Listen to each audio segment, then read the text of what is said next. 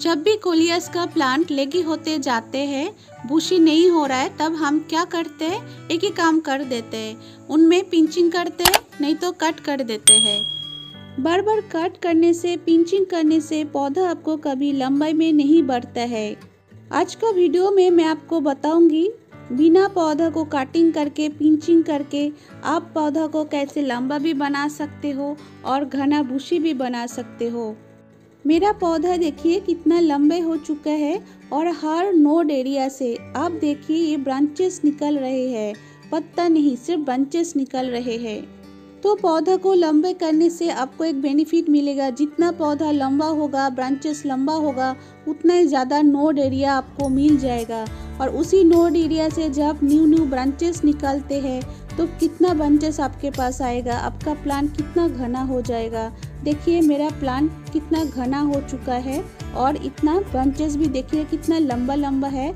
मैंने इसको कटिंग करा ही नहीं। देखिए, ये मेरा दूसरा कोलियस का प्लांट है। आप इसमें अप्लाई करके मैं आपको दिखाऊँगी कि किस तरीके से मैंने ये प्रोसेस को फॉलो कर रही हूँ कि प्लांट लंबा भी हो रहा है लेगी नहीं हो रहा है, पर घना भी हो रहा है। मेरा कोलियस का पौधा देखिए, मैं आपको घुमा घुमा के दिखा रही हूँ।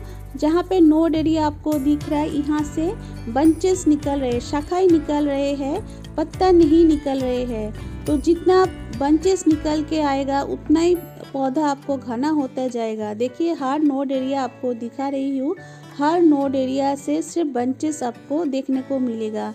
कहीं पे बंचेस बड़ा हो गए, कहीं पे बंचेस निकल के आ रहे छोटा छोटा तो मैंने यहाँ पे कौन सा प्रोसेस फॉलो किया है तो वो मैं आपको इस वीडियो में पूरा जानकारी दूँगी। तो प्लीज़ वीडियो में बना रखना और मेरे साथ जुड़े रहना। प्लेस प्लांट हम सिर्फ़ इसका खूबसूरत लिप्स के लिए लगाते हैं। इनमें जब फूल खिलता है, फूल हम कट कर देते हैं। तो प्लांट को खूबसूरत लिप्स निकालने के लिए हेल्दी लिप्स निकालने के लिए प्लांट को हेल्दी होना बहुत ज़रूरी है।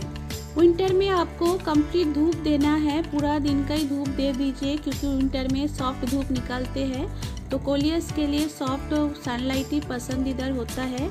तो विंटर में आप पूरा धूप दीजिए। और समर में आपको सेमी शेड एरिया में रखना पड़ेगा।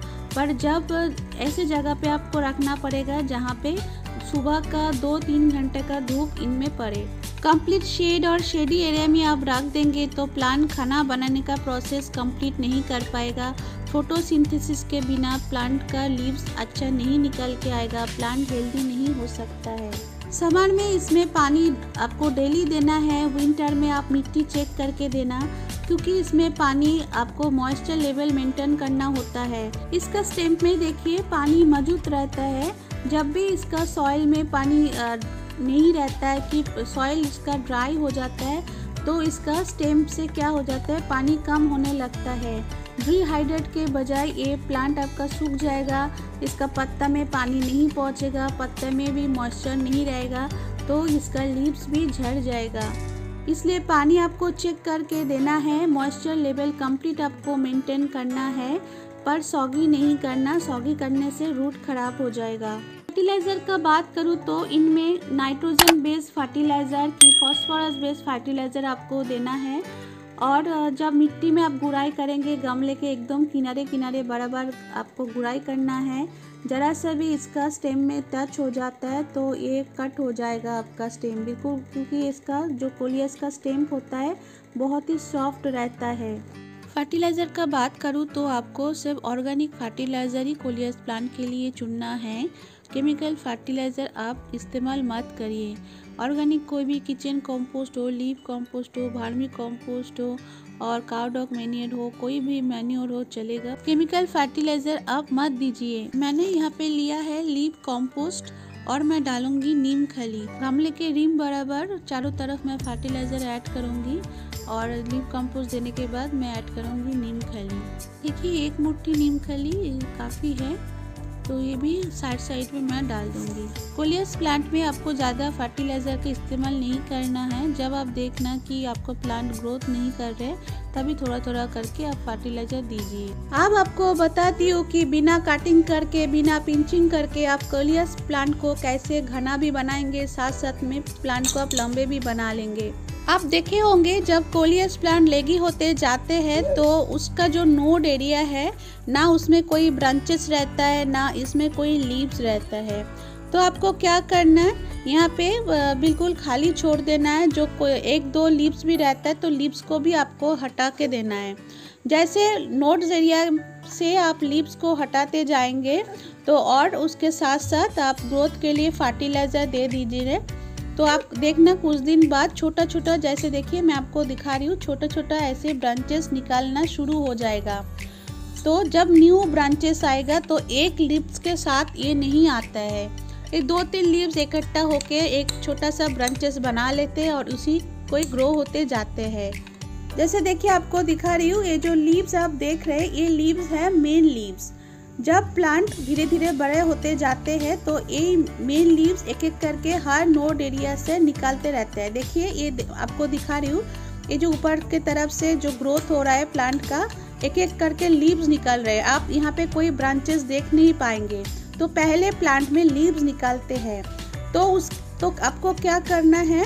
ये जो मेन लीव्स आप देख रहे हैं, इसी को आपको हटाते जाना है। देखिए, मैंने यहाँ पे कोई लीव्स नहीं छोड़ा।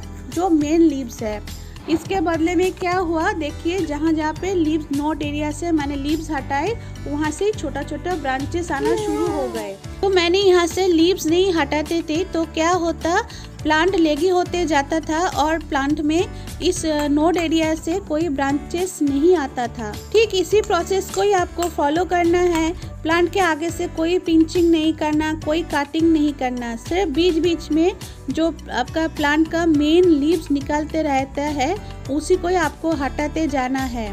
पर एकदम आगे के तरफ़ आप लीव्स नहीं हटाना, जैसे प्लांट आगे की तरफ़ बढ़ते जाएगा और आपको पीछे पीछे क्या करना है, ये लीव्स हटाने का काम करते जाना है। फिर आप देखना, बहुत ही जल्दी आपका प्लांट घना हो जाएगा बुशी हो जाएगा और लंबा भी हो जाएगा। तो आप भी इस प्रोसेस को फॉलो करिए और क्या रिज़ल्ट है प्लीज़ ज़रूर मेरे को कमेंट सेक्शन में बताना। और प्लांट में किस तरीके से आपको पानी देना है, जब भी आप पानी देंगे, एकदम लीव्स के ऊपर से आपको पानी देना है।